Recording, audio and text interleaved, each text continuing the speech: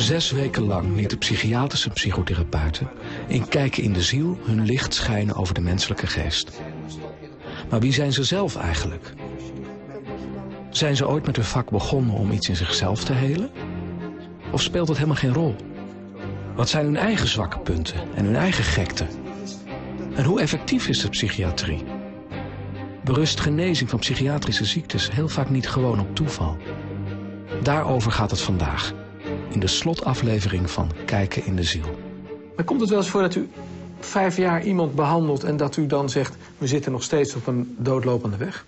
Dat zal Dat voorkomen, denkt- dat komt voor. Ja? Ja. Kan dat ook aan u liggen? En waarom niet? Nou ja, daar ben ik dus benieuwd naar of u misschien niet de goede snaar hebt geraakt. Of... Natuurlijk. Stel je voor dat ik daar niet op kwam. Ja, Maar dit wil dus ook zeggen dat voor een deel nat vingerwerk is. tuurlijk. Ja, Paul Witteman maakte 15 jaar geleden een serie over psychiatrie. Ja. En hij zei onlangs op televisie... de psychiatrie als geneeskundig instituut stelt weinig voor. Als mensen genezen is het meestal toeval. Is dat zo? Denk het, ja. Dat is wel goed gezien. Ik, ik hoop dat ik iets beter scoor dan toeval, maar er is wel heel veel toeval in dit vakje. Ja? ja. Ja, ik vind het een veel te algemene uitspraak. De psychiatrie. En dan moet je dus alles, ook de alcoholisten, de schizofrenen... De, eh, en dan nog de- mijn eh, ge- gebiedje, de neuroses. Dat is veel te wijd. Dat Klopt niet? dat Kan, nee, natuurlijk klopt dat niet. Natuurlijk is het geen toeval. Als iemand hallucineert en hij gaat naar de huisarts... ja, dan wordt hij naar de poli gestuurd en dan krijgt hij pillen en dan helpt het. Bedoel, dat is allemaal geen toeval. Ik denk dat we een heel groot deel van onze patiënten goed kunnen behandelen. Maar het is niet het genezen eh, zoals je dat bij een chirurg ziet. Maar dat is in de rest van de geneeskunde ook niet zo. Iemand met suikerziekte behandel je ook om die suiker onder controle te houden... maar niet om de ziekte te eh, genezen. Want dat kan niet. Dat, dat kan ook vaak niet. En dus in die zin eh, is de psychiatrie niet veel anders dan somatische ziektes. Ehm, U leert mensen met hun mankementen omgaan. Dat. En als de stoornis heel ernstig is, kan je net als in de geneeskunde met medicamenten dat eh, helpen verbeteren. Ehm, maar sommige mensen kun je ook wel genezen. Sommige mensen, veel mensen zelfs, eh, zien we nooit terug. Eh, Noemt u eens aantallen, procenten? Nou, ik denk dat van de depressieve mensen die ik behandel, eh, ongeveer de helft eh, na een paar maanden gewoon eh, weer klaar is. En die ziet u nooit meer terug? Nee. En niet omdat er wat mensen is, maar omdat ze echt beter geworden zijn? Ja. Bij een chirurg kun je zeggen, na afloop, de tumor is eruit gehaald. Dat is gelukt. Bij een psychiater is dat veel moeilijker om te zeggen wa- wat er wel of niet veranderd is. Nou, nee, je kan natuurlijk echt wel zeggen van, nou, de, de, de symptomen van de psychose zijn weg. Hè, of eh, iemand heeft meer levenslust gekregen, is in staat om weer een dagindeling te maken... of is in staat om weer gedeeltelijk te gaan werken. Nee, dat zijn natuurlijk net zo goed criteria. Kijk, als ik eh, een ehm, chirurg nodig heb, ehm, dan ga ik net zoals de meeste mensen na wat chirurgen zijn die goed bekend staan. Ook bij een huisarts ga ik naar wat een goede huisarts is. Of iemand goede antecedenten Goed is in zijn vak, Ja. ja. En dat, dat is geen Maar toeval. bij u is dat moeilijk te meten. Nou, bij een chirurg is dat ook moeilijk te meten. Nee, dat is wel het moeilijke van ons vak, denk ik. Dat is ook wat ik zelf het lastigst vind. Is dat zo weinig zeker is. Hè, dus ehm, Wat je doet. wat je doet. Ja, dus een diagnose. Wat is nou een depressie eigenlijk? Eh, een therapie. Wat, wat, wat doet een psychotherapie? Wat doet een, eh, een antidepressivum? Hoe, hoe weet je nou of het gaat helpen bij die patiënt? Kijk, een slechte chirurg, hè, die slecht opereert, die valt binnen een week door de mand. Want er staat een heel team om hem heen.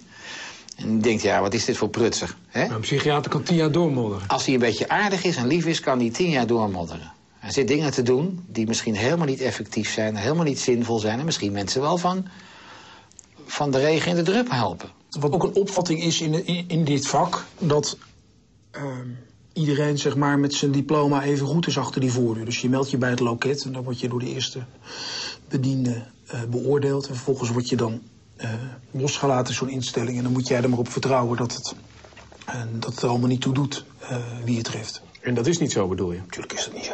Wat ik tegenover zeg, is dat sinds die introductie van de richtlijnen... daar toch wel heel veel in is veranderd. Dat in ieder geval... Bedoelt u dan een diagnose-behandelcombinatie? Nee, nee, nee, nee, nee. Ik bedoel dat de vereniging zelf heeft gezegd... als iemand eerst moet je netjes de diagnose stellen. Ja. Als de diagnose A, B of C is... dan moet je handelen volgens stap 1, 2, 3 en 4. Zo hoort het. Dus je kan nu zo zien als collega... Ja. Terwijl ze me niet meteen als patiënt als dat je zegt, jij doet die psychiater dat netjes zoals, als moet. Er is ook een deel van uw beroepsgroep waarvan u zegt... daar zou ik zelf nooit heen gaan. Ik denk dat iedereen dat wel heeft. Ja? ja. Omdat u denkt, die zijn niet goed of die, die zijn gewoon, die liggen me niet?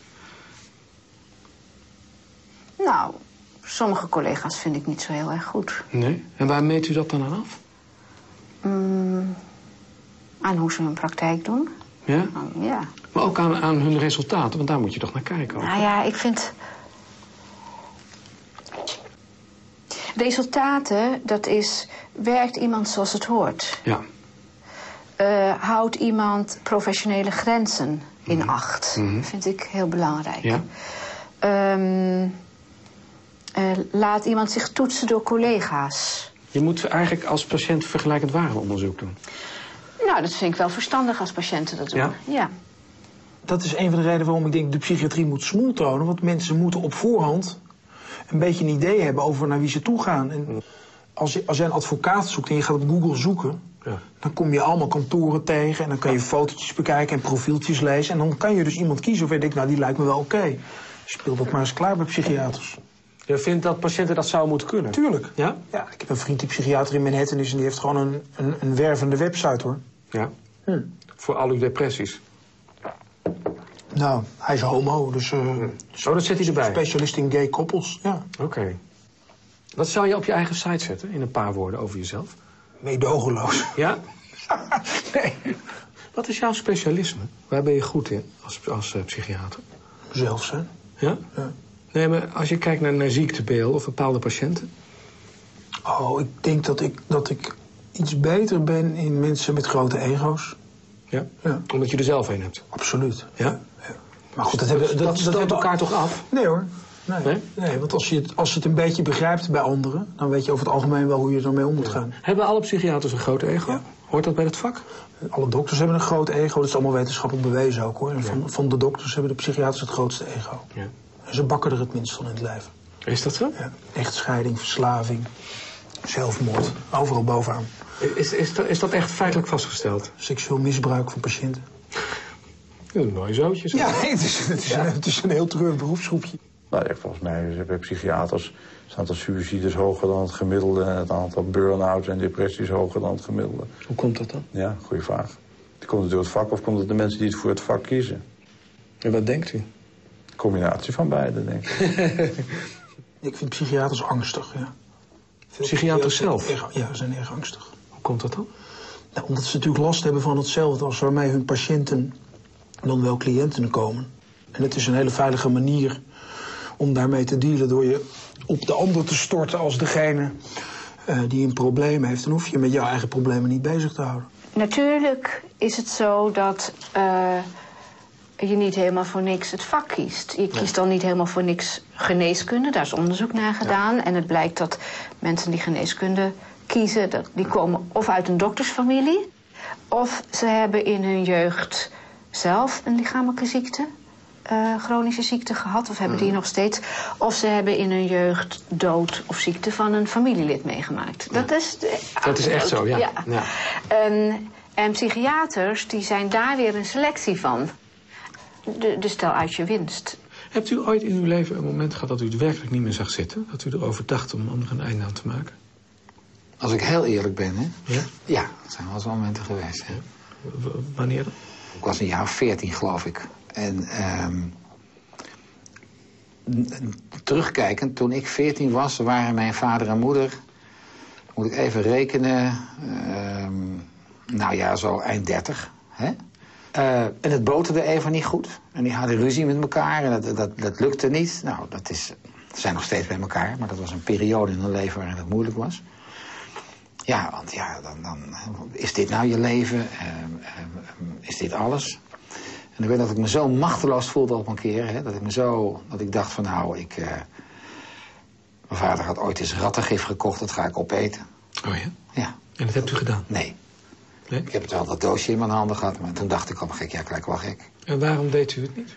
Ja, omdat ik toch iets... Ik, ik dacht, ja, maar toen ik dat dacht, ja, zeg, wat heeft dat voor zin? Ik, ik maak er nou u wat- wilde uw ouders daar wat mee laten Ja, ik zien. wilde laten zien, hou nou op. Want het is verschrikkelijk wat jullie me aandoen, want ik wil niet dat jullie scheiden. Maar hebt u dat toen gezegd of zo? Want ze stonden er niet naast, neem ik Nee, aan. nee dat ik heb het nooit gezegd. Ik denk dat ze het ook niet weten. En ze schrikken zich nu de pestpokken als ze het horen. Maar zo was het nou eenmaal. Mijn moeder is overleden toen ik 18 jaar was. En toen is er een tijd geweest dat ik heel veel op mijn nek had. En dat werd me soms te veel. Dat u te zwaar belast werd. Ja. Ja. En uit die tijd... Kan ik me die gedachte heel goed voorstellen. Ik kan me heel goed voorstellen dat je eruit zou willen stappen. En, en hoe kwam het goed bij u? Ehm, Want hebt u ooit echt serieuze stappen gezet op dat vlak? nee, nee, Dat niet? nee. Dat was gewoon een gedachte die Ja, u niet gedachte, afmaakte. Ja. Hoe kwam het goed? Eh, iemand zei tegen mij dat ik ook gewoon nee kon zeggen. Ja? Zo simpel was het, ja. ja. En, en nee tegen... Tegen die belasting die eh, constant op Het lijkt wel of het u raakt ook als u erover vertelt. Ja, natuurlijk raakt Ja? het. Ja. Wat raakt u dan precies? Nou, de herinnering aan een tijd dat je je zo beroerd kan voelen. Dat je zo, zo geen gat ziet in de wereld. En wat was het definitieve kantelpunt? Ik denk toen ik eh, zelf een kind kreeg. En Want dacht, wat veranderde er toen? Nou, toen dacht ik, je moet voor dit kind zorgen. Je moet er zijn voor iemand anders. Ik moet er zijn voor iemand anders. En eh, jullie kunnen met z'n allen de boom in, want dit gaat voor. Ja. U had zelf ook psychiatrische eh, problemen, als Ja. we het zo kunnen zeggen. Ja. Want wat was de kern daarvan? Plotselinge buien van enorme opwinding. Vooral als ik een borrel gedronken had. En wat deed u dan? Nou, dan ging ik de vreselijkste, vreselijkste taal en dreigementen uitschreeuwen tegen mijn vrouw en tegen mijn kinderen. En ik, En wat zei u dan?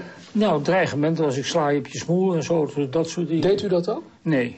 Nee. Ik- Was u toen al psychiater? Ja, zeker. Had u door dat het, dat het raar was, wat, wat u deed? De Die eerste jaren niet. De eerste jaren niet. Ik, heb, ik ben in 1965, denk ik ongeveer, 6 of 5 65 ongeveer, ben ik langzamerhand gaan herkennen, je bent ziek. En hoe kwam dat dan, dat u dat zag? Eh, nou, vooral doordat ik dingen herkende in de patiënten. Van uzelf? Ja, dat ik, ik, ik zeg net, ik was in therapie bij de patiënten vaak. En de patiënten waren bij mij in therapie. Uw collega Flip Treffers, die zei ooit... ik denk dat vrijwel iedereen die in opleiding gaat voor psychoanalyticus... zonder die opleiding wel een tijd lang als patiënt in psychoanalyse zou zijn geweest. Zit daar wat in? Ehm, bedoelt u daarbij... Wat bedoelt u daarbij eigenlijk? Nou, ik, ik weet het niet, maar ik denk dat hij bedoelt... dat veel mensen dit vak ook kiezen om zichzelf te helen. Oh, op die manier. Ehm, ik denk dat dat meevalt. In mijn tijd was het een absolute contra-indicatie. Dus als iemand in zijn sollicitatie zei dat hij zo geïnteresseerd in zichzelf was, dan eh, was het exit. Dan werd hij niet aangenomen. Moet je als psychiater ook veel hebben meegemaakt om anderen te helpen? Nou, ik denk dat dat heel erg helpt, ja. Ja? Ja. Wat is iets wat jij hebt meegemaakt waarvan je zegt... daardoor ben ik een betere psychiater? Eh, echtscheiding. Ja. Ik was niet getrouwd, maar in ieder geval, ik ben, ben vertrokken bij de moeder van mijn oudste zoon. Ja. En, en wat heeft jou dat duidelijk gemaakt? Dat ik begrijp hoe ingrijpend zoiets is en wat voor effect dat heeft. Onder andere ook op die kinderen. Dus als er mensen met een relatieprobleem bij me komen, dan voelt dat wel als meerwaarde. Ja. Dat ik weet waar het over gaat. Maar je kan toch niet van iedereen eisen dat hij eh, gepokt en gemazeld door het leven moet zijn... voordat ze het vak kunnen gaan beoefenen. Nou, misschien word je wel steeds beter naarmate je het langer doet. Nou, het gekke is dat hele jonge eh, therapeuten het vaak heel goed doen. Dus Ja? ja. Ja. Niet minder dan mensen die het al heel lang doen. niet. Dus ervaring blijkt- is helemaal niet relevant. Nee, ervaring blijkt helemaal niet zo relevant. Het, de jonge therapeuten die enthousiast en betrokken zijn, doen het ook vaak heel goed. En die hebben misschien eigenlijk helemaal veel van de situaties die hun patiënten vertellen niet meegemaakt. Er was ook nog een andere eh, ja, psychische afwijking. Ik weet niet of we het zo mogen noemen. Maar u, u verzon ook dingen over uw leven. Ja, fantasieën dat ik heel flink en heel sterk en heel groot was. En dat bewees ik dan door allerlei prestaties. Maar die prestaties waren er helemaal niet. Dat had ik helemaal nooit... Wat, wat, wat verzon u dan? Bergklimmen vertelde ik dat ik, ik weet niet wat beklommen had. eh, Ik kon wel een beetje bergklimmen, dat heb ik ook echt wel gedaan. Maar ik vertelde dat ik de eigen Noordwand had geklommen en zo. Dat is allemaal onzin. En, dan beschreef ik erbij eh, dat ik in hangmatjes tegen de rotswanden hing enzovoort. Allemaal flauwekul. En Wist u dat u dat verzon? Ja, ik wist dat ik loog. Ik wist het heel goed en ik kon het niet stoppen. Het is, een vorm van pseudologica fantastica, zoals dat heet. Hè. Dat, dat, dat ging maar door. En als je eenmaal op het spoor zat in die leugens... om mijn vader maar te overtroeven... Want die was een bergbeklimmer. Die, die was een bergbeklimmer, dus, dus moest ik dat beter kunnen. En het, het verzet heb ik nooit wat mee gedaan. Mijn vader wel. En ik was dus later de verzetsheld in mijn verhaal. U, u verzon Ja, dat u in het verzet had Op gezeten. de Nassaukade had ik een bom gegooid in een Duitse vrachtwagen. waren drie Duitse militairen dood. Er heeft waarschijnlijk nooit de vrachtwagen gereden zelfs, maar ik had het verhaal. U had misschien in diezelfde periode ook patiënten die daaraan leden. hè? Pseudologica fantastica. Ja, ja. Die herkende ik. Ja, En ik wist ook dat je daar vooral niet eh, regelrecht tegen in moet gaan, wordt het alleen maar erger. ja. Maar waarom kon u er niet mee stoppen? Ja, wat is je, je eigen opgepoetste ego je waard? Maar kun je trots zijn op een heldendom wat je verzonnen hebt? Ja, ik wel. Ja. Omdat toen, dat was de pathologie. Ja. Want als ik Als iets zou verzinnen, als ik zou zeggen dat ik iets gedaan heb wat ik niet gedaan heb, dan voel ik me toch een beetje een sukkel. Nee. Nee?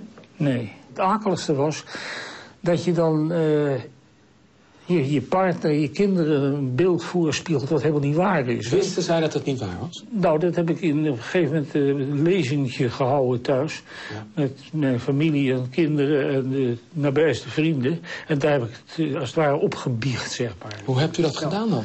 Gewoon verteld. Het hele verhaal verteld ineens, s'avonds. En, eh, Gezegd van wat ik altijd heb gezegd ja, over... dat is niet waar. Ik heb nooit zulke soort eigen nooit van beklommen, heb geen bommen gegooid en zo is allemaal onzin.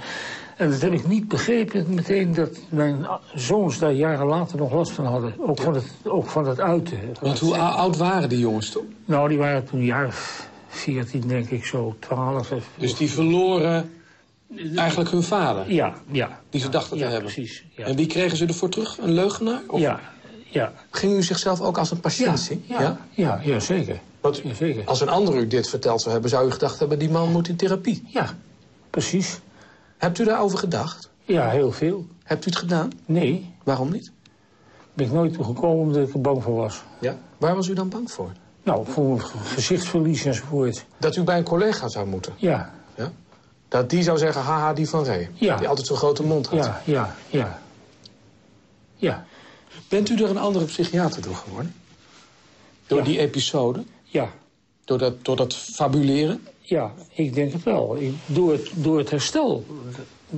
Is zoals ik langzamerhand in die pathologie terecht ben gekomen... in het schelden, schreeuwen, emotionele toestanden enzovoort...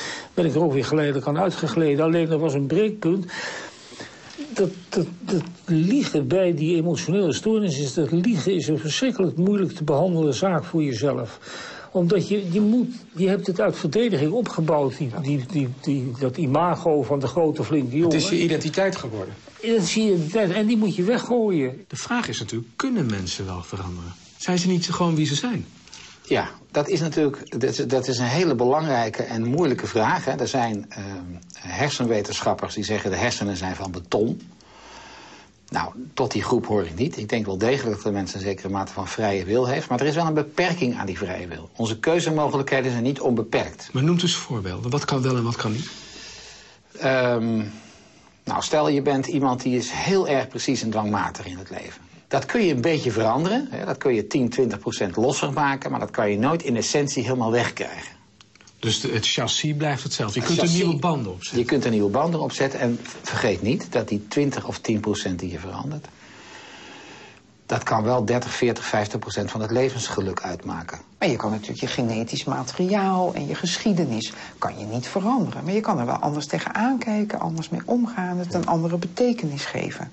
Laatst dacht ik, mensen kunnen werkelijk veranderen. Ik dacht, ik ben zelf werkelijk veranderd. Ja? Ja, Door, door? op mijn eigen analyse bijvoorbeeld. Ja? Ja. Want wat is er toen veranderd tussen voor en na? En wat, ik, eh, wat voor mij heel belangrijk was, dat ik eh, rouw los heb gelaten. Waar ik eigenlijk in vast was blijven zitten. Eh, en dat ik veel zekerder van mezelf ben geworden. En veel meer durf te denken wat ik vind en durf te zeggen wat ik vind. Maakt de psychiatrie mensen per saldo gelukkiger? Nou, daar zijn we niet voor, hè? Nee? Nee. Waar bent u dan voor?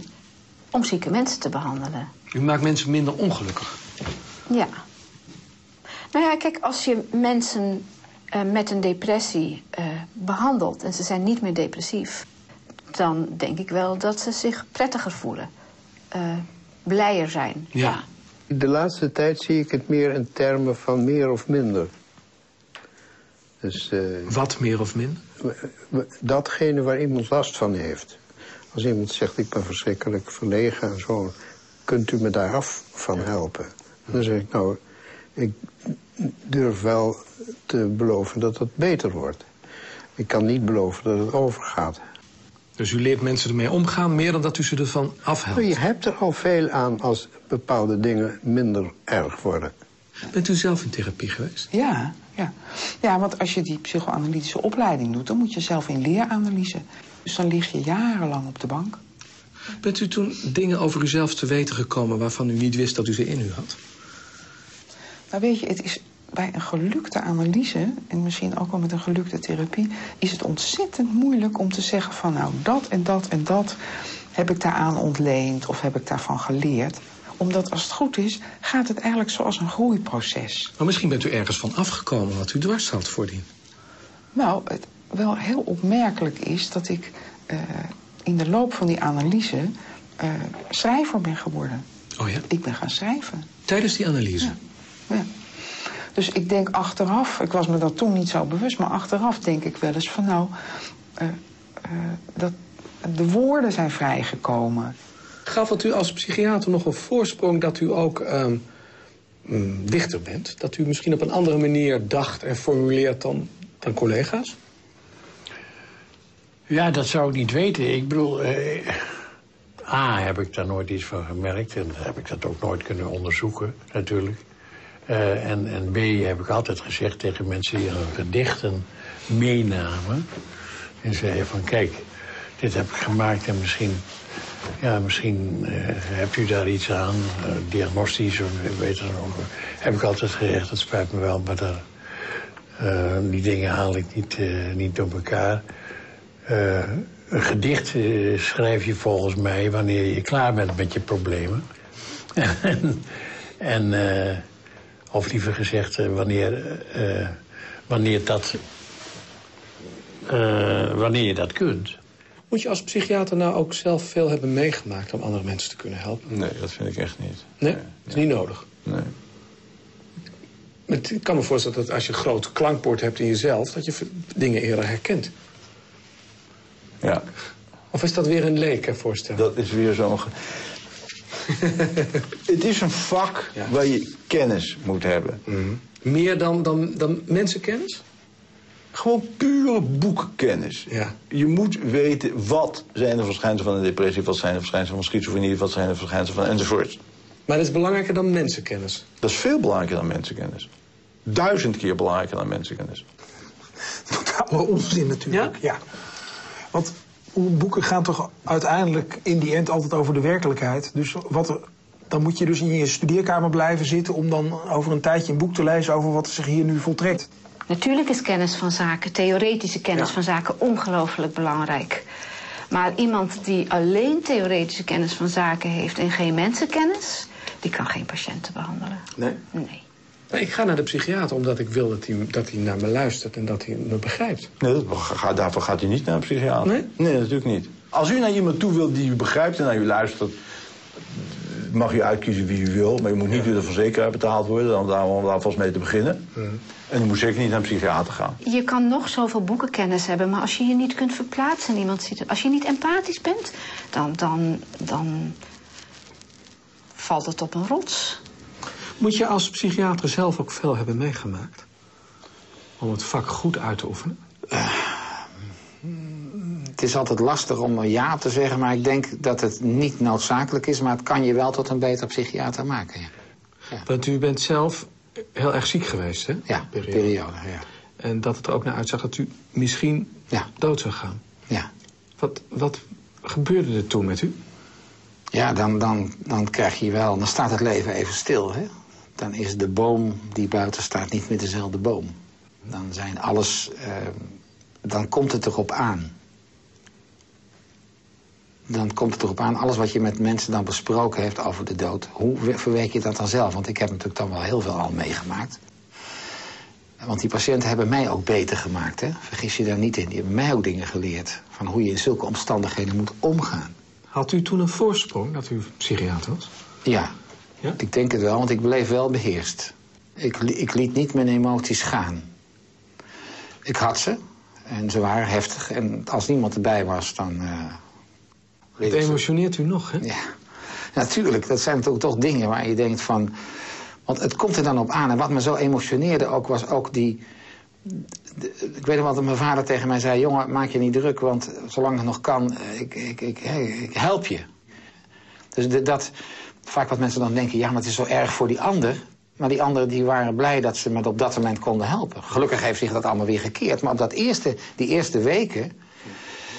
Toen, dat, toen zich dat uiteindelijk heeft, eh, heeft, eh, heeft eh, voltrokken, toen, ja, toen waren ook collega's van mij, ook psychiaters, go- goede vrienden, hè, ehm, die tegen mij zeiden: Ja, joh, maar ja, het, is, het is zoals het is. Hebt u toen ook hulp gezocht, psychiaters hulp? Nee.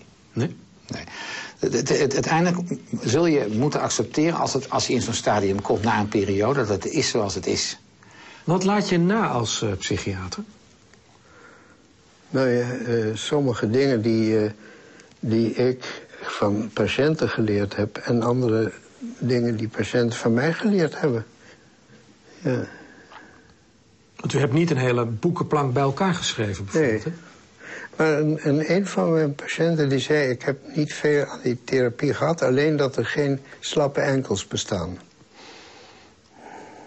En wat betekent dat? We hadden het over schaatserijen. Ja, ja.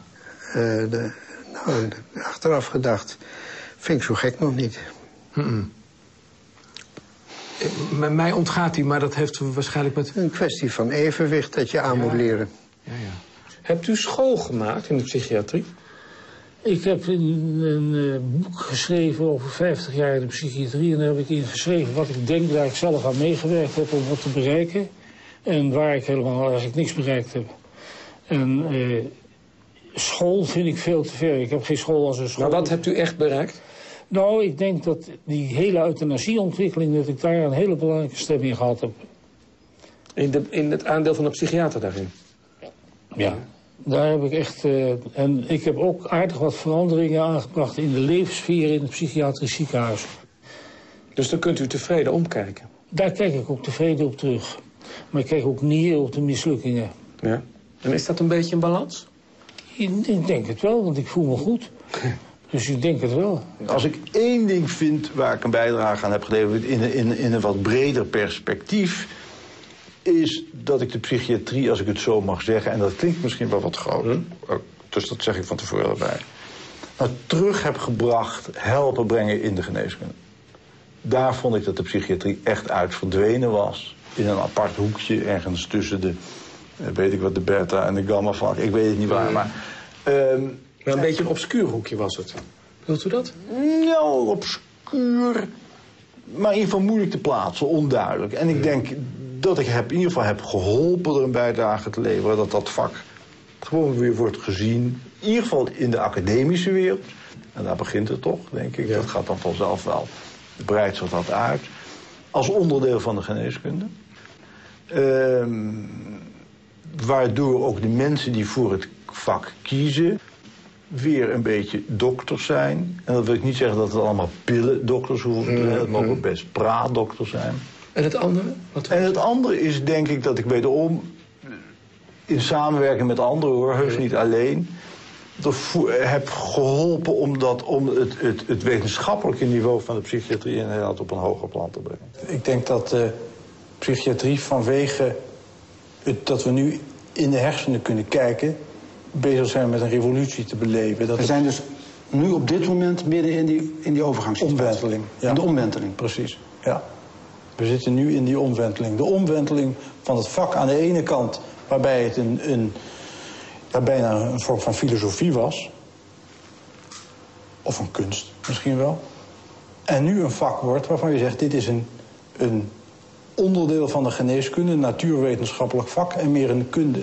Nou, die overgang, denk ik, wordt voor een groot deel bewerkstelligd... doordat we nu instrumenten in handen krijgen... waarbij we kunnen kijken hoe het brein werkt. Uiteindelijk is het hele brein, alles heeft met alles te maken. dat maakt het ook zo moeilijk. En daar moeten we niet verwachten dat we volgende week of over een jaar daar grote doorbraken in zullen zien. Daar hebben we nog wel honderden jaren voor nodig. Maar Wij ik- gaan niet meemaken in ons leven dat er een middel tegen depressie komt. Jawel, maar niet een middel tegen depressie. Want een, een middel zou betekenen dat je het hele brein in dat middel moet stoppen. Hè, zal ik maar zeggen. Dat kan niet. En dan maar, maar dat- het op dat ene plekje specifiek werkt, daar geloof ik niet in. nee. Ik vind dat in, in, met betrekking tot de zware psychiatrie, hè, dus echt de gektes en zo, dat, dat we wel beter worden. Dat we wel beter dan bijvoorbeeld 50 jaar terug. Maar ik vind met betrekking tot, zeg, waar we het net over hadden, depressies en angst en dat soort dingen, vind ik dat we onze eh, bevolking geen goed doen. En de cijfers zijn er ook naar. Kijk, je kan wel, eh, wij, wij hebben geloof ik de afgelopen eh 10, 20 jaar massive toename aan geld in de psychiatrie. En tegelijkertijd een toename aan psychiatrische patiënten.